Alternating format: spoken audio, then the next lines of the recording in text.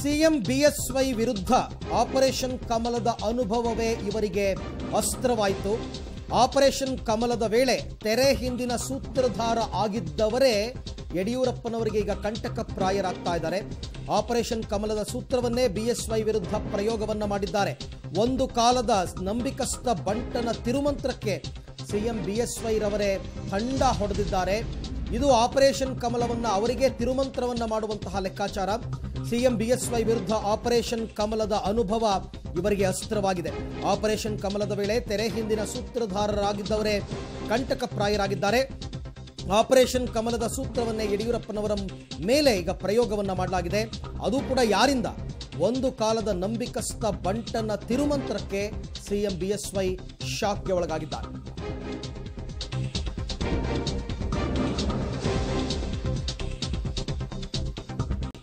ಹಾಗಾದ್ರೆ ಒಂದು ಕಾಲದ ನಂಬಿಕಸ್ಥ ಬಂಟ ಯಾರು? ಯಾವ ರೀತಿ ಪ್ರಯೋಗವನ್ನ ಮಾಡಿದ್ರು? ಗುರುವಿಗೆ ತಿರುಮಂತ್ರವನ್ನು ಹಾಕುವ ಲೆಕ್ಕಾಚಾರಕ್ಕೆ ಅವರು ಬಂದದ್ದಾದರೂ ಯಾರು? ಇಷ್ಟಕ್ಕೂ ಅವ್ರು ಯಾರು ಅಂತಕ್ಕಂಥ ಈ ಎಲ್ಲ ಮಾಹಿತಿಗೆ ಸಂಬಂಧಪಟ್ಟಂತೆ ಅಪ್ಡೇಟ್ಸನ್ನು ಕೊಡ್ತಾ ಹೋಗ್ತೀವಿ. ಯಡಿಯೂರಪ್ಪನವರಿಗೆ ಆಪರೇಷನ್ ಕಮಲ ಸೂತ್ರಧಾರಣ ಆಟ. ಆಪರೇಷನ್ ಕಮಲದ ಸೂತ್ರಧಾರಣೆ ಈಗ ಸಿ ಎಂ ಯಡಿಯೂರಪ್ಪಗೆ ಕಂಟಕರಾಗಿದ್ದಾರೆ. ಈಗ ಯಡಿಯೂರಪ್ಪ ವಿರುದ್ಧ ಶಾಸಕರ ಬಂಡಾಯಕ್ಕೆ ತಂತ್ರ ಹೆಣೆಯುತ್ತಿರುವುದೇ ಅಂದಿನ ನಂಬಿಕಸ್ಥ ಇವತ್ತಿನ ನಂಬಿಕಸ್ಥ ಅಲ್ಲ, ಅಂದಿನ ನಂಬಿಕಸ್ಥ ಯಡಿಯೂರಪ್ಪ ವಿರುದ್ಧ ಶಾಸಕರ ಬಂಡಾಯಕ್ಕೆ ಕಾರಣಕರ್ತರಾಗಿದ್ದಾರೆ. ಸಿಎಂ ಯಡಿಯೂರಪ್ಪ ಆಪ್ತರನ್ನೇ ಒಟ್ಟುಗೂಡಿಸಿ ಬಂಡಾಯ ಎಬ್ಬಿಸಲು ರಣತಂತ್ರವನ್ನು ಹೆಣೆದಿದ್ದಾರೆ. ಸಿಎಂ ಯಡಿಯೂರಪ್ಪ ಆಪ್ತ ಶಾಸಕರನ್ನೇ ಒಟ್ಟುಗೂಡಿಸಿ ಅವರ ವಿರುದ್ಧವೇ ಬಂಡಾಯ ಹೇಳೋದಕ್ಕೆ ರಣತಂತ್ರವನ್ನು ಹೆಣೆಯಲಾಗಿದೆ. ಆಪರೇಷನ್ ಕಮಲದ ಅನುಭವಗಳನ್ನೇ ಬಳಸಿಕೊಂಡು ಈಗ ಬಿ ಎಸ್ ವೈ ವಿರುದ್ಧ ರಣಕಹಳೆಯನ್ನು ಮೊಳಗಿಸಿದ್ದಾರೆ. ಆಪರೇಷನ್ ಕಮಲದಲ್ಲಿ ಇವರೆಲ್ಲರೂ ಕೂಡ ತೆರೆಮರೆಯ ಸೂತ್ರಧಾರರಾಗಿದ್ದರು. ಆ ಅನುಭವಗಳನ್ನೇ ಬಳಸಿಕೊಂಡು ಈಗ ಬಿ ಎಸ್ ವೈ ವಿರುದ್ಧ ರಣಬೇಟೆಯನ್ನು, ರಣಕಹಳೆಯನ್ನು ಆಡ್ತಾ ಇದ್ದಾರೆ. ಕಾಂಗ್ರೆಸ್, ಜೆ ಡಿ ಎಸ್ ಸಮ್ಮಿಶ್ರ ಸರ್ಕಾರವನ್ನು ಬೀಳಿಸುವಲ್ಲಿನ ತೆರೆಮರೆಯ ಸೂತ್ರ. ನಿಮಗೆಲ್ಲ ಜ್ಞಾಪಕ ಇದೆ, ಯಡಿಯೂರಪ್ಪನವರು ಮತ್ತು ಕೆಲವರು ಆ ಸಂದರ್ಭದಲ್ಲಿ ಯಾವ ರೀತಿ ನಡ್ಕೊಂಡ್ರು ಅಂತ. ಯಡಿಯೂರಪ್ಪನವರ ಅವತ್ತಿನ ನಂಬಿಕಸ್ಥ ಈಗ ಗುರುಗೆ ತಿರುಮಂತ್ರವನ್ನು ಹಾಕ್ತಾ ಇದ್ದಾರೆ. ಹೈಕಮಾಂಡ್ ಆದೇಶವನ್ನು ಯಥಾವತ್ತಾಗಿ ಅನುಷ್ಠಾನಗೊಳಿಸ್ತಾ ಇದ್ದ ಆಜ್ಞಾ ಪರಿಪಾಲಕ ಆತ ಹೈಕಮಾಂಡ್ ಆದೇಶಗಳನ್ನು, ಅಂದರೆ ಯಡಿಯೂರಪ್ಪನವರಿಗೂ ಗೊತ್ತಾಗದ ಹಾಗೆ ಹೈಕಮಾಂಡ್ ಕೊಡ್ತಾ ಇದ್ದಂತಹ ಕೆಲವೊಂದು ಆದೇಶಗಳನ್ನು ಯಥಾವತ್ತಾಗಿ ಅನುಷ್ಠಾನಗೊಳಿಸ್ತಾ ಇದ್ದಂತಹ ಆಜ್ಞಾ ಪರಿಪಾಲಕ ಈಗ ಯಡಿಯೂರಪ್ಪನವರಿಗೆ ತಿರುಮಂತ್ರ ಹಾಕಿದ್ದಾರೆ. ಆಪರೇಷನ್ ಕಮಲದಲ್ಲಿ ಸಿಎಂ ಬಿ ಎಸ್ ವೈ ಅತೃಪ್ತ ಶಾಸಕರು ಮತ್ತು ಹೈಕಮಾಂಡ್ ಜೊತೆಗಿನ ಕೊಂಡಿಯಾಗಿದ್ದ ಈ ತಂತ್ರಗಾರ ಯಾರೀತ ಅಂದರೆ, ಆಪರೇಷನ್ ಕಮಲದ ಸಂದರ್ಭದಲ್ಲಿ ಸಿಎಂ ಯಡಿಯೂರಪ್ಪ ಅತೃಪ್ತ ಶಾಸಕರು ಮತ್ತು ಹೈಕಮಾಂಡ್ ಮೂರು ಜನರಿಗೆ ಬ್ರಿಡ್ಜ್ ಆಗಿ ಕೆಲಸ ಮಾಡಿದ್ದ ಈ ತಂತ್ರಗಾರ. ಅಂದಿನ ನಂಬಿಕಸ್ಥ ನಯ ಆಟನಿಗೆ ಸಿಎಂ ಯಡಿಯೂರಪ್ಪ ಬಣದಿಂದಲೂ ಪ್ರತಿತಂತ್ರವಂತೆ. ಅಂದರೆ ಯಡಿಯೂರಪ್ಪನವರು ಅಷ್ಟು ಸುಲಭವಾಗಿ ಬಿಟ್ಕೊಡೋದಿಲ್ಲ. ನಿನ್ನೆ ಕೂಡ ಯಡಿಯೂರಪ್ಪನವ್ರು ಹೇಳಿದ್ರಂತೆ, ನನಗೆ ಇವೆಲ್ಲನೂ ಹ್ಯಾಂಡ್ಲ್ ಮಾಡೋಕ್ಕೆ ಗೊತ್ತು. ನಾನು ಇದ್ರ ಬಗ್ಗೆ ಎಲ್ಲ ತಲೆ ಕೆಡಿಸ್ಕೊಳ್ಳಲ್ಲ. ಹಾಗಾಗಿ ತಿರುಮಂತ್ರವನ್ನು, ಪ್ರತಿತಂತ್ರವನ್ನು ಹಾಕ್ತಾ ಇದ್ದಾರೆ. ಅಂದಿನ ನಂಬಿಕಸ್ಥನ ನಯ ಆಟಕ್ಕೆ ಸಿ ಎಂ ಯಡಿಯೂರಪ್ಪ ಬಣ ಪ್ರತಿತಂತ್ರವನ್ನು ಹೂಡ್ತಾ ಇದೆ. ಆಪರೇಷನ್ ಕಮಲದ ಸೂತ್ರಧಾರನಿಂದಲೇ ಈಗ ಸಿಎಂ ಯಡಿಯೂರಪ್ಪನವರಿಗೆ ಕಂಟಕ ಬಂದಿದೆ. ಗೊತ್ತಾಗ್ತಾ ಇದೆ, ಈಗ ಆಪರೇಷನ್ ವಿರುದ್ಧ ಶಾಸಕರ ಬಂಡಾಯಕ್ಕೆ ತಂತ್ರ ಹೆಣೆಯುತ್ತಿರುವುದೇ ಅಂದಿನ ನಂಬಿಕಸ್ಥ ಸಿಎಂ ಯಡಿಯೂರಪ್ಪ ಆಪ್ತ ಶಾಸಕರನ್ನೇ ಒಟ್ಟುಗೂಡಿಸಿ ಬಂಡಾಯ ಎಬ್ಬಿಸೋದಕ್ಕೆ ಇವರು ರಣತಂತ್ರವನ್ನು ಹೂಡಿದ್ದಾರೆ. ಆಪರೇಷನ್ ಕಮಲದ ಅನುಭವಗಳನ್ನು ಬಳಸಿಕೊಂಡು ಈಗ ಬಿ ವಿರುದ್ಧ ರಣಕಹಳೆಯನ್ನು ಮೊಳಗಿಸಿದ್ದಾರೆ. ಈ ಬಗ್ಗೆ ಮತ್ತಷ್ಟು ಮಾಹಿತಿಯನ್ನು ಪಡೆಯೋಣ. ನನ್ನ ಕೊಲೀಗ್ ರವೀಶ್ ಅವರಿಂದ. ರವೀಶ್, ಎಲ್ಲವೂ ತಣ್ಣಗಾಗಿದೆ. ಎಲ್ಲರೂ ಕೂಡ ಕರೋನಾ ಬಗ್ಗೆ ಕಾನ್ಸಂಟ್ರೇಟ್ ಮಾಡ್ತಾ ಇದ್ದಾರೆ ಎಂದಾಗ ಒಳಗೊಳಗೆ ಈ ಬೆಂಕಿ ಹೊತ್ಕೊಂಡಿದ್ದು ಯಾರಿಂದ ಮತ್ತು ಯಡಿಯೂರಪ್ಪನವರ ವಿರುದ್ಧ ಅವರು ಹೆಣೆದ ರಣತಂತ್ರ ಏನು? ಅರವಿಂದ್, ಪ್ರಮುಖವಾಗಿರ್ತಕ್ಕಂಥದ್ದು ಎಲ್ಲೋ ಒಂದ್ ಕಡೆ ಸಚಿವ ಸ್ಥಾನ ವಂಚಿತರು ಆಪ್ತರ ಏನಿದ್ದಾರೆ, ಅವರಿಂದನೇ ಇದೆಲ್ಲವೂ ಕೂಡ ಶುರುವಾಗಿದೆ ಅನ್ನೋ ಮಾತುಗಳು ಕೂಡ ಕೇಳಿ ಬರ್ತಾ ಇರ್ತಕ್ಕಂಥದ್ದು. ಜೊತೆಗೆ ಎಲ್ಲ ಒಂದ್ ಕಡೆ ಆ ಒಂದು ಯಡಿಯೂರಪ್ಪ ಮತ್ತೆ ಅವರ ಸುತ್ತಮುತ್ತಲಿರ್ತಕ್ಕಂಥವರ ಒಂದು ನಡವಳಿಕೆಯಿಂದಾಗಿ ಬೇಸತ್ತು ನಾವು ಈ ರೀತಿ ತಿರುಗಿ ಬಿದ್ದಿದ್ದೇವೆ ಅಂತನೂ ಕೂಡ ಮೊನ್ನೆಯ ಸಭೆಯಲ್ಲೂ ಕೂಡ ಹೇಳ್ಕೊಳ್ತಾ ಇದ್ರಂತೆ ಆ ಒಂದು ಶಾಸಕರು. ಹಾಗಾಗಿ ಎಲ್ಲೋ ಒಂದ್ ಕಡೆ ಇದು ಎಲ್ಲದಕ್ಕೂ ಕೂಡ ಒಂದ್ ರೀತಿಯಲ್ಲಿ ಮೂಲ ದಾರಿ ಅಂದ್ರೆ ಅವತ್ತಿನ ಆಪರೇಷನ್ ಕಮಲದ ಸಂದರ್ಭದಲ್ಲಿ ಯಾರು ಆಪರೇಟರ್ ಆಗಿದ್ರು, ಆ ಪ್ರಮುಖ ವ್ಯಕ್ತಿಯೇ ಇವತ್ತು ಕೂಡ ಆಪರೇಟರ್ ಆಗಿದ್ದಾರೆ. ತೆರೆಮರೆಯಲ್ಲೂ ಕೂಡ ಅವರು ಕೂಡ ದೊಡ್ಡ ಮಟ್ಟದಲ್ಲೇ ಗೇಮ್ ಪ್ಲಾನ್ ಮಾಡ್ತಾ ಇದ್ದಾರೆ ಅನ್ನೋದು ಕೂಡ ಈಗ ಬಹಿರಂಗವಾಗಿರ್ತಕ್ಕಂಥದ್ದು. ಸ್ವತಃ ಇದು ಯಡಿಯೂರಪ್ಪ ಅವರ ಟೀಮ್ಗೂ ಕೂಡ ಈಗಾಗಲೇ ಗೊತ್ತಾಗಿದೆ. ಅಂದ್ರೆ ಆ ಒಂದು ಇಲ್ಲಿ ಇರ್ತಕ್ಕಂತ ಶಾಸಕರ ಗುಂಪನ್ನ ಹೈಕಮಾಂಡ್ಗೆ ಯಾವ ರೀತಿ ಲಿಂಕ್ ಮಾಡಿಕೊಡ್ಬೇಕು, ಮತ್ತೆ ಅಲ್ಲಿ ಹೈಕಮಾಂಡ್ ನಾಯಕರನ್ನ ಯಾವ ರೀತಿ ಸಂಪರ್ಕ ಮಾಡಬೇಕು, ಮತ್ತೆ ಏನೆಲ್ಲ ಸ್ಟ್ರಾಟಜಿಗಳನ್ನ ಮುಂದೆ ಮಾಡಬೇಕು ಅಂತಾನು ಕೂಡ ಆ ಒಂದು ಪ್ಲಾನ್, ಗೇಮ್ ಪ್ಲಾನ್ ಮಾಡ್ತಾ ಇರ್ತಕ್ಕಂಥದ್ದು ಆ ಒಬ್ಬ ಶಾಸಕ ಅಂತಾನು ಕೂಡ ಹೇಳಲಾಗ್ತಾ ಇದೆ. ಹಾಗಾಗಿ ಒಟ್ಟಾರೆಯಾಗಿ ಅವತ್ತಿನ ಒಂದು ಆಪರೇಷನ್ ಕಮಲಕ್ಕೆ ಸಹಾಯ ಮಾಡಿದವರು ಮತ್ತೆ ತೆರೆಮರೆಯಲ್ಲಿ ಇದ್ದಂತಹ ವ್ಯಕ್ತಿ ಇವತ್ತು ಅದೇ ಯಡಿಯೂರಪ್ಪ ಅವರ ವಿರುದ್ಧ ಒಂದು ರೀತಿಯಲ್ಲಿ ಆ ಒಂದು ಅಸಮಾಧಾನದ ಬಾಂಬರ್ ಆಗಿ ಏನ್ ಕೆಲಸ ಮಾಡ್ತಾ ಇದ್ದಾರೆ ಇದು ಖಂಡಿತ ವಿಪರ್ಯಾಸ ಅಂತ ಕೂಡ ಹೇಳ್ಬೋದಾಗಿದೆ. ಇದನ್ನ ಯಡಿಯೂರಪ್ಪನವ್ರು ಯಾವ ರೀತಿ ಹ್ಯಾಂಡಲ್ ಮಾಡ್ತಾರೆ ಅಥವಾ ಅವ್ರನ್ನೇ ಕರೆಸಿ ಮಾತನಾಡ್ತಾರೋ ಅವ್ರನ್ನೇ ಸಮಾಧಾನ ಮಾಡ್ತಾರೋ ಅಥವಾ ಇದು ದೊಡ್ಡ ಮಟ್ಟದ ಫೈಟ್ಗೆ ಕಾರಣ ಆಗುತ್ತೆ ಅನ್ನೋದು ಕೂಡ ಕಾದ್ ನೋಡ್ಬೇಕಾಗಿದೆ. ಅವತ್ತಿನ ಮೂಲ ಸಂದರ್ಭದಲ್ಲಿ ಮೂಲ ಉದ್ದೇಶ ಯಡಿಯೂರಪ್ಪನವ್ರನ್ನ ಮುಖ್ಯಮಂತ್ರಿ ಸ್ಥಾನದಿಂದ ಕೆಳಗಿಳಿಸೋದು ಅಥವಾ ಇವರುಗಳು ಮಂತ್ರಿ ಆಗೋದು. ಇವ್ರು ಮಂತ್ರಿ ಆಗಬೇಕು ಅಂದ್ರೆ ಯಡಿಯೂರಪ್ಪನವ್ರನ್ನ ವಿಶ್ವಾಸಕ್ಕೆ ತಗೋಬೇಕಾಗಿತ್ತು. ಬಟ್ ಈ ರೀತಿ ಯಾಕೆ ಮಾಡಿದ್ರು ಅಂತ? ಅರವಿಂದ್, ಎಲ್ಲೋ ಒಂದ್ ಕಡೆ ಈ ಒಂದು ಮಂತ್ರಿ ಆಗ್ಬೇಕು ಅನ್ನೋದು ಕೇವಲ ಒಂದು ಅಜೆಂಡಾ ಆಗಿದ್ರೆ ಇಷ್ಟು ದೊಡ್ಡ ಮಟ್ಟದಲ್ಲಿ ಆಗ್ತಾ ಇರಲಿಲ್ಲ ಅನ್ಸುತ್ತೆ. ಯಾಕೆಂದ್ರೆ ಎಲ್ಲೋ ಒಂದ್ ಕಡೆ ಈ ಒಂದು ಮಂತ್ರಿ ಸ್ಥಾನ ಸಿಗದೇ ಇರೋದಕ್ಕೆ ಜೊತೆಗೆ ಆ ಒಂದು ನಡವಳಿಕೆ ವಿರುದ್ಧ ಒಂದು ದೊಡ್ಡ ಮಟ್ಟದ ಒಂದು ಗುಂಪನ್ನ ಕಟ್ಟೋದಕ್ಕೆ ಹೊರಟಿದ್ದಾರೆ ಅನ್ನೋದು ಕೂಡ ಸ್ಪಷ್ಟವಾಗುತ್ತೆ. ಕೇವಲ ಮಂತ್ರಿ ಆಗಿದ್ರೆ ಯಡಿಯೂರಪ್ಪನವರು ಮತ್ತೆ ಹೈಕಮಾಂಡ್ ಕೂಡ ವಿಶ್ವಾಸಕ್ಕೆ ತೆಗೆದುಕೊಳ್ಬಹುದಾಗಿತ್ತು ಜೊತೆಗೆ ಹೈಕಮಾಂಡ್ ಅವತ್ತು ಈ ಒಂದು ತೆರೆಮರೆಯಲ್ಲಿ ಇರ್ತಕ್ಕಂತ ವ್ಯಕ್ತಿಯನ್ನ ನಂಬದಂತ ಹೈಕಮಾಂಡ್ ಇವತ್ತು ಕೂಡ ನಂಬು ಬಿಡುತ್ತಾ, ಮತ್ತೆ ಇವರ ಮಾತನ್ನ ಕೇಳ್ಕೊಂಡು ಹೈಕಮಾಂಡ್ ಪ್ರಕ್ರಿಯೆ ಕೈ ಹಾಕುವಂತ ದಡ್ಡರ ಅಥವಾ ಅಷ್ಟು ಬುದ್ಧಿವಂತರೋ ಏನು ಅನ್ನೋದು ಕೂಡ ಗೊತ್ತಾಗ್ಬೇಕಾಗತ್ತೆ. ಹಾಗಾಗಿ ಇನ್ನೂ ಕೂಡ ಈ ಪ್ರೋಸೆಸ್ ಪ್ರಕ್ರಿಯೆ ಏನಿದೆ, ಇದು ಆರಂಭಿಕ ಹಂತದಲ್ಲಿ ಇರ್ತಕ್ಕಂಥದ್ದು ಹಾಗಾಗಿ ಅಂತಿಮ ಹಂತದ ತನಕ ಹೋಗೋ ತನಕ ಬಿಡ್ತಾರ ಯಡಿಯೂರಪ್ಪನವರು ಅಥವಾ ಅಲ್ಲೇ ಕಟ್ ಮಾಡ್ತಾರೋ?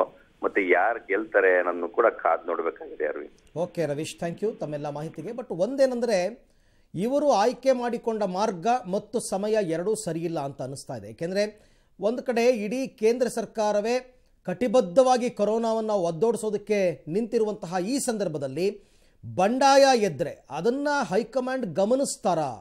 ಇವ್ರನ್ನ, ಇವ್ರ ಬಗ್ಗೆ ಯಾವ ರೀತಿ ವಿಶ್ವಾಸ ಮೂಡಬಹುದು ಅಂತಕ್ಕಂಥದ್ದು ಒಂದು ಲೆಕ್ಕಾಚಾರ. ಎರಡನೇದು ಯಡಿಯೂರಪ್ಪನವರು ಕೂಡ ಏಕಾಂಗಿಯಾಗಿ ಕೊರೋನಾ ವಿರುದ್ಧ ಹೋರಾಡ್ತಾ ಇದ್ದಾರೆ. ಕೆಲವರು ಬೆರಳೆಣಿಕೆ ಶಾಸಕ ಸಚಿವರು ಮಾತ್ರ ಅವರಿಗೆ ಸಾಥ್ ಕೊಡ್ತಾ ಇದ್ದಾರೆ, ಅವರವರ ಇಲಾಖೆಗೆ ಸಂಬಂಧಪಟ್ಟಂತೆ.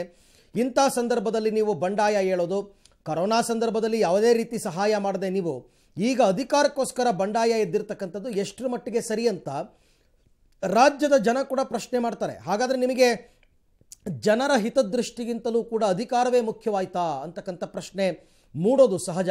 ಹಾಗಾಗಿ ಇವರು ಆಯ್ಕೆ ಮಾಡಿಕೊಂಡಂತಹ ಮಾರ್ಗ ಅದು ಒಂದು ಹಂತಕ್ಕೆ ಓಕೆ ಅಂದರೂ ಕೂಡ ಸಮಯ ಸರಿಯಿಲ್ಲ.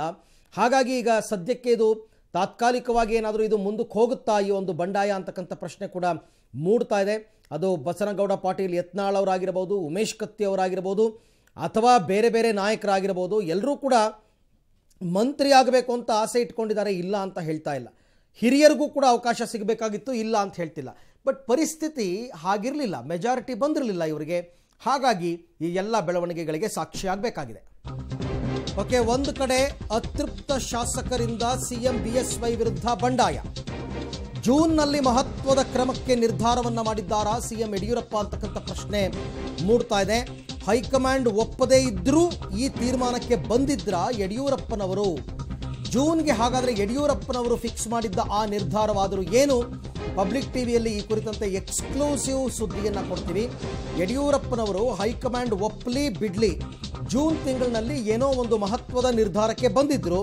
ಹಾಗಾದರೆ ಆ ನಿರ್ಧಾರವನ್ನು ಜಾರಿಗೊಳಿಸ್ತಾರಾ? ಇಲ್ವಾ ಅಂತಕ್ಕಂಥದ್ದು. ಇಷ್ಟೆಲ್ಲ ಡೆವಲಪ್ಮೆಂಟ್ಸ್ ಆದಮೇಲೆ. ಬಿ ಎಸ್ ವೈ ಅವರ ಜೂನ್ ನಿರ್ಧಾರದ ಸುಳಿವು ಬಂಡಾಯಗಾರರಿಗೆ ಸಿಕ್ಕಿದ್ರೂ ಕೂಡ ಎಡವಟ್ಟು ಮಾಡಿಕೊಂಡ್ರ ಅಂತಕ್ಕಂಥ ಮತ್ತೊಂದು ಪ್ರಶ್ನೆ. ಹಾಗಾದ್ರೆ ಏನದು ಸುಳಿವು ಅಂತ ನೋಡೋಣ. ಬಿ ಎಸ್ ವೈ ಜೂನ್ ನಿರ್ಧಾರದ ಸುಳಿವು ಸಿಕ್ಕಿದ್ರೂ ಕೂಡ ಎಡವಟ್ಟು ಮಾಡಿಕೊಂಡ್ರ ಬಂಡಾಯಗಾರರು. ಶಾಸಕರ ಸಭೆ ಕರೆದು ಉಮೇಶ್ ಕತ್ತಿ ಎಡವಟ್ಟು ಮಾಡಿಕೊಂಡ್ರ. ಅತೃಪ್ತ ಶಾಸಕರ ಆತುರ ಮತ್ತು ಅವಸರದಿಂದ ನಷ್ಟವಾಗಿದ್ದಾದರೂ ಯಾರಿಗೆ? ಪಬ್ಲಿಕ್ ಟಿವಿಯ ಎಕ್ಸ್ಕ್ಲೂಸಿವ್ ಸುದ್ದಿ ಇದು. ಬಿ ಎಸ್ ವೈರವರ ಜೂನ್ ತಿಂಗಳ ನಿರ್ಧಾರದ ಸುಳಿವು ಸಿಕ್ಕಿದ್ರೂ ಕೂಡ ಉಮೇಶ್ ಕತ್ತಿ ಅಂಡ್ ಟೀಮ್ ಎಡವಟ್ಟನ್ನು ಮಾಡಿಕೊಂಡಿದ್ದಾರೆ. ನಾನು ಈಗಾಗಲೇ ಹೇಳ್ತಾ ಇದ್ದೆ, ಉಮೇಶ್ ಕತ್ತಿ ಆ್ಯಂಡ್ ಟೀಮ್ ಒಂದು ರೀತಿ ಸುಳಿವು ಸಿಕ್ಕಿದ್ರೂ ಕೂಡ ಆತರಕ್ಕೆ ಬಿದ್ದು ಎಡವಟ್ಟನ್ನು ಮಾಡಿಕೊಂಡಿದ್ದಾರಾ? ಹಾಗಾದರೆ ಏನು ಎಡವಟ್ಟು? ಆ ಸುಳಿವಾದರೂ ಏನು? ಯಡಿಯೂರಪ್ಪನವರು ಯಾವ ನಿರ್ಧಾರಕ್ಕೆ ಬಂದಿದ್ದರು ಇದೆಲ್ಲದರ ಬಗ್ಗೆ ಮಾಹಿತಿಯನ್ನು ಕೊಡ್ತೀವಿ. ಜೂನ್ ಎರಡನೇ ವಾರದಲ್ಲಿ ಸಂಪುಟ ವಿಸ್ತರಣೆಗೆ ಸಿದ್ಧರಾಗಿದ್ದರು ಸಿ ಎಂ ಯಡಿಯೂರಪ್ಪ. ಇದು ಇವತ್ತು ನಿನ್ನೆ ಡೆವಲಪ್ಮೆಂಟ್ಸ್ ಅಲ್ಲ. ಮೊದಲೇ ತೀರ್ಮಾನ ಮಾಡ್ಕೊಂಡಿದ್ರು ಯಡಿಯೂರಪ್ಪನವರು. ಜೂನ್ ಎರಡನೇ ವಾರದಲ್ಲಿ ಸಂಪುಟ ವಿಸ್ತರಣೆಗೆ ಸಿದ್ಧರಾಗಿದ್ದರು ಬಂಡಾಯ ಶಾಸಕ ಉಮೇಶ್ ಕತ್ತಿಯನ್ನು ಕರೆದು ಸುಳಿವನ್ನು ಕೊಟ್ಟಿದ್ರು ಯಡಿಯೂರಪ್ಪ. ನೋಡಪ್ಪ ಸುಮ್ಮನೆ ಇರು. ಜೂನ್ ಎರಡನೇ ವಾರದಲ್ಲಿ ನಾನು ಕ್ಯಾಬಿನೆಟ್ ಎಕ್ಸ್ಪ್ಯಾನ್ಷನ್ ಮಾಡ್ತೀನಿ. ಸಂಪುಟಕ್ಕೆ ಇಬ್ಬರಿಂದ ಮೂವರನ್ನು ಸೇರಿಸಿಕೊಳ್ಳುವ ಬಗ್ಗೆ ಯಡಿಯೂರಪ್ಪನವರು ಉಮೇಶ್ ಕತ್ತಿಗೆ ಹೇಳಿದ್ರಂತೆ. ಓಕೆ. ಸಂಪುಟಕ್ಕೆ ಇಬ್ಬರಿಂದ ಮೂವರನ್ನು ಸೇರಿಸ್ಕೊಳ್ತೀನಿ ಅನ್ನೋದ್ರ ಬಗ್ಗೆ ಉಮೇಶ್ ಕತ್ತಿ ಅವರಿಗೆ ಯಡಿಯೂರಪ್ಪನವರು ಈಗಾಗಲೇ ಮಾಹಿತಿಯನ್ನು, ಸೂಚನೆಯನ್ನು, ಸುಳಿವನ್ನು ಕೊಟ್ಟಿದ್ದರು ಹೈಕಮಾಂಡ್ ಒಪ್ಪಲಿ ಬಿಡ್ಲಿ ನೋಡಿ, ಇದು ಇಂಪಾರ್ಟೆಂಟ್. ಹೈದ್ ಕಮಾಂಡ್ ಒಪ್ಪಲಿ ಬಿಡ್ಲಿ ಸಂಪುಟ ವಿಸ್ತರಣೆಯನ್ನು ಮಾಡೇ ಮಾಡ್ತೀನಿ ಅಂತ ಯಡಿಯೂರಪ್ಪನವರು ಹೇಳಿದರು. ಅದರಲ್ಲಿ ಉಮೇಶ್ ಕತ್ತಿ ನಿಮಗೂ ಚಾನ್ಸ್ ಇದೆ. ನಿಮ್ಮನ್ನೂ ಕೂಡ ನಾವು ಮಂತ್ರಿ ಮಾಡ್ತೀವಿ ಅಂತ ಹೇಳಿದ್ರೂ ಕೂಡ ಆತುರಕ್ಕೆ ಬಿದ್ದುಬಿಟ್ರೆ ಇವರೆಲ್ಲರೂ ಅಂತಕ್ಕಂಥ ಪ್ರಶ್ನೆ ಇವಾಗ ಮೂಡ್ತಾ ಇದೆ. ಎರಡನೇ ವಾರದಲ್ಲಿ, ಜೂನ್ ಎರಡನೇ ವಾರದಲ್ಲಿ ಸಂಪುಟ ವಿಸ್ತರಣೆಗೆ ಸಿದ್ಧರಾಗಿದ್ದರು ಯಡಿಯೂರಪ್ಪನವರು. ಬಂಡಾಯ ಶಾಸಕ ಉಮೇಶ್ ಕತ್ತಿಯನ್ನು ಕರೆದು ಸುಳಿವನ್ನು ಕೂಡ ಕೊಟ್ಟಿದ್ದರು ಸಂಪುಟಕ್ಕೆ ಇಬ್ಬರಿಂದ ಮೂವರನ್ನು ಸೇರಿಸಿಕೊಳ್ಳೋದ್ರ ಬಗ್ಗೆ ಹೇಳಿದರು ಯಡಿಯೂರಪ್ಪ. ಹೈಕಮಾಂಡ್ ಒಪ್ಪಲಿ ಬಿಡ್ಲಿ ಸಂಪುಟ ವಿಸ್ತರಣೆಗೆ ಸಿದ್ಧರಾಗಿದ್ದರು ಆದರೆ ಸಂಪುಟ ವಿಸ್ತರಣೆಗೂ ಮೊದಲೇ ಅತೃಪ್ತ ಅಸಮಾಧಾನಿತ ಶಾಸಕರು ಸಭೆಯನ್ನು ನಡೆಸಿದ್ದು ಯಡಿಯೂರಪ್ಪನವರು ಫುಲ್ ಗರಂ ಆಗೋ ಹಾಗೆ ಮಾಡಿದೆ. ಮಂತ್ರಿಗಳಾಗುವ C M B S Y ಲಿಸ್ಟ್ನಲ್ಲಿ Katti ಮತ್ತು ಅರವಿಂದ ಲಿಂಬಾವಳಿ ಅವರು ಇದ್ದರು ಜೂನ್ ಎರಡನೇ ವಾರದಲ್ಲಿ ಕ್ಯಾಬಿನೆಟ್ ಎಕ್ಸ್ಪ್ಯಾನ್ಷನ್ ಮಾಡ್ತೀನಿ. ಅದರಲ್ಲಿ ಉಮೇಶ್ ಕತ್ತಿ ಮತ್ತು ಅರವಿಂದ ಲಿಂಬಾವಳಿ ಅವರನ್ನ ಮಂತ್ರಿ ಮಾಡ್ತೀನಿ ಅಂತ ಯಡಿಯೂರಪ್ಪನವರು ತೀರ್ಮಾನ ಮಾಡಿಕೊಂಡಿದ್ರು. ಅದನ್ನು ಉಮೇಶ್ ಕತ್ತಿಗೆ ಕೂಡ ತಿಳಿಸಿದ್ರು. ಆದರೆ ಅಸಮಾಧಾನಿತರ ಶಾಸಕರ ಸಭೆ ಹಿನ್ನೆಲೆಯಲ್ಲಿ ಸಂಪುಟ ವಿಸ್ತರಣೆಗೆ ಬ್ರೇಕ್ ಬೀಳುವ ಸಾಧ್ಯತೆ ಇದೆ. ಇಲ್ಲಿ ಎಡವಟ್ಟು ಮಾಡ್ಕೊಂಡಿದ್ದವರು. ಸುಮ್ಮನೆ ಇದ್ದಿದ್ರೆ ಇನ್ನೇನು ಸೆಕೆಂಡ್ ವೀಕಲ್ಲಿ ಆಗ್ಬಿಡ್ತಾ ಇತ್ತು ಸಚಿವ ಆಗಲೇಬೇಕೆಂದಿರುವ ಕತ್ತಿ ಅವಸರಕ್ಕೆ ಬಿದ್ದು ಎಡವಟ್ಟು ಮಾಡಿಕೊಂಡ್ರ ಅಂತಕ್ಕಂಥ ಪ್ರಶ್ನೆ ಮೂಡ್ತಾ ಇದೆ. ಅತೃಪ್ತರ ಅವಸರಕ್ಕೆ ಏನೂ ಮಾಡದೇ ಇರತಕ್ಕಂಥ ಅರವಿಂದ ಲಿಂಬಾವಳಿ ಅವ್ರಿಗೂ ಸಚಿವ ಸ್ಥಾನ ಕೈ ತಪ್ಪುತ್ತಾ? ಅಂದರೆ ಅವರೇನೋ ಅತೃಪ್ತರ ಗುಂಪಲ್ಲಿ ಗುರುತಿಸ್ಕೊಂಡಿರಲಿಲ್ಲ. ಉಮೇಶ್ ಕತ್ತಿ, ಅರವಿಂದ ಲಿಂಬಾವಳಿ ಪ್ಲಸ್ ಇನ್ನೊಬ್ಬರು ಮೂರು ಜನರನ್ನು ನಾವು ಮಂತ್ರಿ ಮಾಡಬೇಕು ಅಂತ ಅಂದ್ಕೊಂಡಿದ್ರು ಈಗ ಉಮೇಶ್ ಕತ್ತಿ ಅವರೇನು ಅಸಮಾಧಾನಿತರ ಸಭೆ ಕರೆದಿದ್ರು. ಆದರೆ ಏನೂ ತಪ್ಪು ಮಾಡದ ಅರವಿಂದ ಲಿಂಬಾವಳಿ ಅವ್ರಿಗೂ ಕೂಡ ಈಗ ಸಚಿವ ಸ್ಥಾನ ಕೈ ತಪ್ಪುತ್ತಾ ಅಂತಕ್ಕಂಥ ಪ್ರಶ್ನೆ ಮೂಡ್ತಾ ಇದೆ. ಓಕೆ, ಈ ಬಗ್ಗೆ ಮತ್ತಷ್ಟು ಮಾಹಿತಿನ ಪಡೆಯೋಣ. ನನ್ನ ಕೊಲೀಗ ಮಸೂದ್ ಅವರಿಂದ. ಮಸೂದ್ ಯಡಿಯೂರಪ್ಪನವರು ಜೂನ್ ಎರಡನೇ ವಾರದಲ್ಲಿ ಸಂಪುಟ ವಿಸ್ತರಣೆ ಮಾಡೋದು, ಅದರಲ್ಲಿ ಉಮೇಶ್ ಕತ್ತಿ ಮತ್ತು ಅರವಿಂದ ಲಿಂಬಾವಳಿಗೆ ಸ್ಥಾನ ಕೊಡೋದು, ಇವೆಲ್ಲವನ್ನ ಉಮೇಶ್ ಕತ್ತಿಗೂ ಕೂಡ ಹೇಳಿದ್ರಂತೆ. ಹಾಗಾದರೆ ಈ ಅತೃಪ್ತರ ಬಣ ಏನಿದೆ, ಇವರು ಆತರಕ್ಕೆ ಬಿದ್ದು ಎಡವಟ್ಟು ಮಾಡಿಕೊಂಡ್ರ? ಇದಿನ್ನೂ ಕೂಡ ಮುಂದೆ ಹೋಗುತ್ತಾ ಹಾಗಾದರೆ ಅಂತ. ಅರವಿಂದ್, ಆ ತರದೊಂದು ಚರ್ಚೆ ಈಗ ಬಿಜೆಪಿ ವಲಯದಲ್ಲಿ ನಡೀತಾ ಇದೆ. ಈಗಾಗಲೇ ಐದಾರು ಸ್ಥಾನಗಳು ಸಚಿವ ಸಂಪುಟದಲ್ಲಿ ಖಾಲಿ ಇದ್ದಾವೆ ಅದರಲ್ಲಿ ಎರಡರಿಂದ ಮೂರು ಮೂಲ ಶಾಸಕರಿಗೆ ಕೊಡ್ತೀನಿ ಅನ್ನುವಂತ ಭರವಸೆಯನ್ನ ಕಳೆದ ಬಾರಿಗೆ ಮುಖ್ಯಮಂತ್ರಿಗಳು ಉಮೇಶ್ ಕತ್ತಿ ಅವರಿಗೆ ಕೊಟ್ಟಿದ್ರು. ಆದ್ರೆ ಉಮೇಶ್ ಕತ್ತಿ ಅವರ ಧಾವಂತ ಯಾವ ರೀತಿ ಇತ್ತು ಅಂತಂದ್ರೆ ತಮಗೂ ಸಚಿವ ಸ್ಥಾನ ಬೇಕು, ತಮ್ಮ ಸಹೋದರ ರಮೇಶ್ ಕತ್ತಿಗೂ ರಾಜ್ಯಸಭೆ ಟಿಕೆಟ್ ಬೇಕೇ ಬೇಕು ಅನ್ನುವಂತಹ ಆತುರಕ್ಕೆ ಬಿದ್ದು ಕಳೆದ ವಾರ ನಿನ್ನೆ ಮೊನ್ನೆ ಎಲ್ಲ ಸಭೆಗಳನ್ನ ಕರೆದು ಶಾಸಕರನ್ನ ಗುಂಪು ಹಾಕೊಂಡು ಕೊರೋನಾ ಸಂದರ್ಭದಲ್ಲಿ ಯಡಿಯೂರಪ್ಪನವರ ಆಕ್ರೋಶಕ್ಕೆ ಗುರಿಯಾಗಿದ್ದಾರೆ. ಹಾಗಾಗಿ ಯಡಿಯೂರಪ್ಪನವರು ಜೂನ್ ಎರಡನೇ ತಾರೀಕು ಏನು ಸಂಪುಟ ವಿಸ್ತರಣೆ ಮಾಡಬೇಕು ಅನ್ನುವಂತಹ ಪ್ಲಾನ್ ಹಾಕೊಂಡಿದ್ರು. ಅದು ನಡೆಯುತ್ತಾ ನಡೆಯಲ್ವಾ ಅನ್ನುವಂತಹ ಪ್ರಶ್ನೆ ಈಗ ಮೂಡ್ತಾ ಇದೆ. ಆ ಒಂದು ಸಂಪುಟ ವಿಸ್ತರಣೆ ಮಾಡಿದ್ದೇ ಆಗಿದ್ಲಿ, ಮಾಡಿದ್ದೇ ಆಗಿದ್ರೆ ಉಮೇಶ್ ಕತ್ತಿ ಮತ್ತೆ ಅರವಿಂದ್ ಲಿಂಬಾವಳಿಗೆ ಸೇರಿಸಿಕೊಂಡು ಸಂಪುಟ ವಿಸ್ತರಣೆ ಮಾಡಬೇಕು ಅನ್ನುವಂತಹ ಲೆಕ್ಕಾಚಾರ ಆಗಿತ್ತು. ಹೈಕಮಾಂಡ್ ಕೂಡ ಒಂದು ಲೆಕ್ಕದಲ್ಲಿ ಒಪ್ಕೊಳ್ತಾ ಇತ್ತು. ಹೈಕಮಾಂಡ್ ಒಪ್ಕೊಳ್ಳಿ ಬಿಡ್ಲಿ.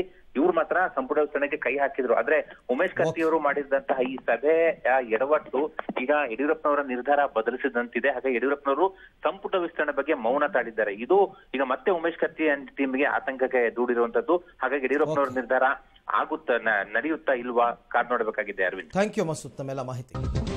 ಅತೃಪ್ತ ಶಾಸಕರ ಬಂಡಾಯಕ್ಕೆ ಸೊಪ್ಪು ಹಾಕುತ್ತಾ ಹೈಕಮಾಂಡ್ ಅನ್ನುವಂತಹ ಪ್ರಶ್ನೆ. ಇನ್ನೆಷ್ಟು ತಿಂಗಳ ಮಟ್ಟಿಗೆ ಸಿಎಂ ಕುರ್ಚಿ ಸೇಫ್ ಆಗಿರುತ್ತೆ ಹಾಗಾದ್ರೆ? ಅಂದರೆ ಯಡಿಯೂರಪ್ಪನವರನ್ನೇ ಮುಂದಿನ ಮೂರು ವರ್ಷಗಳ ತನಕ ಮುಂದುವರಿಸುವ ನಿರ್ಧಾರವೋ? ಅಥವಾ ಏನಾದರೂ ನಾಯಕತ್ವ ಬದಲಾವಣೆಗೆ ಮುಂದಾಗುತ್ತಾ high command? CM B S ವೈಗೆ ಹಾಗಾದರೆ ಇನ್ನೂ ಕೂಡ ಕುರ್ಚಿ ಕಂಟಕ ಮುಗಿದಿಲ್ವಾ?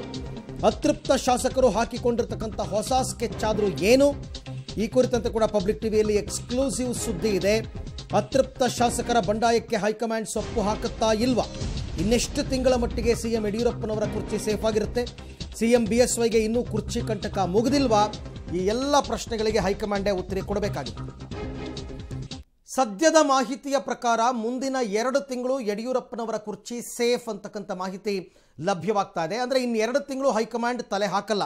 ಸಿಎಂ ಯಡಿಯೂರಪ್ಪ ವಿರುದ್ಧ ಬಂಡಾಯಕ್ಕೆ ತಾತ್ಕಾಲಿಕ ವಿರಾಮವನ್ನು ಹಾಕಲಾಗ್ತಾ ಇದೆ. ಸಿಎಂ ಯಡಿಯೂರಪ್ಪನವರ ವಿರುದ್ಧದ ಬಂಡಾಯಕ್ಕೆ ತಾತ್ಕಾಲಿಕ ವಿರಾಮ, ಪೂರ್ಣ ವಿರಾಮ ಅಲ್ಲ, ಸದ್ಯಕ್ಕೆ ಬೇಡ ಅಂತಕ್ಕಂಥ ಪ್ರಶ್ನೆ. ಸಿಎಂ ಯಡಿಯೂರಪ್ಪ ವಿರುದ್ಧ ಬಂಡಾಯಕ್ಕೆ ತಾತ್ಕಾಲಿಕ ವಿರಾಮವನ್ನು ಹಾಕಿ ಎರಡು ತಿಂಗಳ ಕದನ ವಿರಾಮವನ್ನು ಘೋಷಿಸ್ತಾ ಅತೃಪ್ತ ಶಾಸಕರ ಕೂಟ.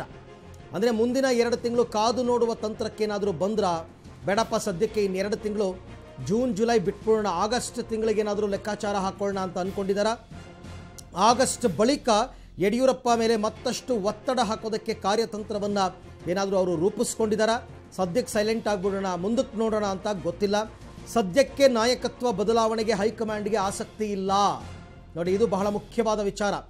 ಸದ್ಯಕ್ಕೆ ನಾಯಕತ್ವ ಬದಲಾವಣೆಗೆ ಹೈಕಮಾಂಡ್ಗೆ ಯಾವುದೇ ಆಸಕ್ತಿ ಇಲ್ಲ. ಅವ್ರದೇ ಆದ ಟೆನ್ಷನ್ನಲ್ಲಿದ್ದಾರೆ ಅವರು. ಮೊದಲು ಈ ಕೊರೋನಾದಿಂದ ಮುಕ್ತರಾಗಬೇಕು ದೇಶ. ಹಾಗಾಗಿ ಈಗ ನಾಯಕತ್ವ ಬದಲಾವಣೆಗೆ ತಲೆ ಕೆಡಿಸ್ಕೊಂಡು ಕೂತ್ಕೊಳ್ಳೋಕ್ಕಾಗಲ್ಲ. ಹೀಗಾಗಿ ಭಿನ್ನಮತವನ್ನು ಉಳಿಸ್ಕೊಂಡೇ ಆಗಸ್ಟ್ ಕದನಕ್ಕೆ ಅತೃಪ್ತ ಪಡೆ ಲೆಕ್ಕಾಚಾರವನ್ನು ಹಾಕ್ಕೊಂಡಿದೆಯಂತೆ. ಭಿನ್ನಮತವನ್ನು ಉಳಿಸ್ಕೊಂಡು, ಆ ಒಂದು ಮುನಿಸನ್ನು ಉಳಿಸ್ಕೊಂಡು, ಆ ಅಸಮಾಧಾನವನ್ನು ಉಳಿಸ್ಕೊಂಡು ಇನ್ನೂ ಎರಡು ತಿಂಗಳು ಕಾಯೋಣ, ಆಗಸ್ಟ್ ತಿಂಗಳಿನಲ್ಲಿ ಒತ್ತಡವನ್ನು ಹಾಕೋಣ ಅನ್ನುವಂತಹ ಲೆಕ್ಕಾಚಾರಕ್ಕೆ ಈಗ ಭಿನ್ನಮತೀಯರು ಬಂದಿದ್ದಾರೆ. ಗೊತ್ತಾಯಿತು ಅವ್ರಿಗೂ ಕೂಡ. ಈಗ ನಾವು ಡೆಲ್ಲಿಗೆ ಹೋದರೂ ಕೂಡ ಹೈಕಮಾಂಡ್ ಇದಕ್ಕೆ ಸೊಪ್ಪಾಕಲ್ಲ. ಇನ್ನು ಮುಖ್ಯಮಂತ್ರಿ ಅವರನ್ನು ಹಾಗೆ ಎದುರಿಸೋಕ್ಕಾಗಲ್ಲ. ಹಾಗಾಗಿ ಏನಾದರೂ ಎಡವಟ್ಟು ಮಾಡ್ಕೊಂಡ್ಬಿಟ್ರೆ ನಮ್ಮ ಬುಡಕ್ಕೆ ಬಂದ್ಬಿಡುತ್ತೆ ಅನ್ನೋ ಕಾರಣಕ್ಕೋಸ್ಕರ ಮುಂದಿನ ಎರಡು ತಿಂಗಳಿನ ತನಕ ಸೈಲೆಂಟ್ ಆಗಿರೋದಕ್ಕೆ ಈ ಭಿನ್ನಮತೀಯ ಬಣ ಈಗ ನಿರ್ಧಾರ ಮಾಡಿದೆ. ಅಷ್ಟರಲ್ಲೇನಾದರೂ ಯಡಿಯೂರಪ್ಪನವ್ರು ಕ್ಯಾಬಿನೆಟ್ ಎಕ್ಸ್ಪ್ಯಾನ್ಷನ್ ಮಾಡಿ ಭಿನ್ನಮತೀಯರಿಗೆ ಏನಾದರೂ ಅವಕಾಶ ಕೊಟ್ಟರೆ ಈ ಅಸಮಾಧಾನ ಅಂತಕ್ಕಂಥದ್ದು ತಣ್ಣಗಾಗಬಹುದು. ಮಾಡಲಿಲ್ಲ ಅಂದರೆ ಅಸಮಾಧಾನ ಅದೇ ರೀತಿ ಮುಂದುವರಿಯುತ್ತೆ. ಅತೃಪ್ತ ಶಾಸಕರ ಬಂಡಾಯಕ್ಕೆ ಹೈಕಮಾಂಡ್ ಸೊಪ್ಪು ಹಾಕುತ್ತಾ ಇಲ್ವಾ ಅಂತಕ್ಕಂಥದ್ದು. ಇದು ಮೊನ್ನೆಯಿಂದನೂ ಕೂಡ ಈ ಪ್ರಶ್ನೆ ಮೂಡ್ತಾನೆ ಇದೆ. ಸೊ ಇನ್ನೆಷ್ಟು ತಿಂಗಳ ಮಟ್ಟಿಗೆ ಹಾಗಾದರೆ ಯಡಿಯೂರಪ್ಪನವರ ಕುರ್ಚಿ ಸೇಫ್ ಇರುತ್ತೆ? ಸೊ ಅದನ್ನು ಕೂಡ ನಾವು ನೋಡಬೇಕು. ಸಿ ಎಂ ಬಿ ಎಸ್ ವೈಗೆ ಇನ್ನೂ ಕುರ್ಚಿ ಕಂಟಕ ಮುಗಿದಿಲ್ವಾ? ಎತೃಪ್ತ ಶಾಸಕರು ಹಾಕ್ಕೊಂಡಿರ್ತಕ್ಕಂಥ ಹೊಸ ಸ್ಕೆಚ್ ಏನು? ಇದೆಲ್ಲದರ ಬಗ್ಗೆ ಕಾದು ನೋಡುವ ತಂತ್ರಕ್ಕೆ ಶರಣಾಗುವ ಸಾಧ್ಯತೆಯೇ ಇದೆ.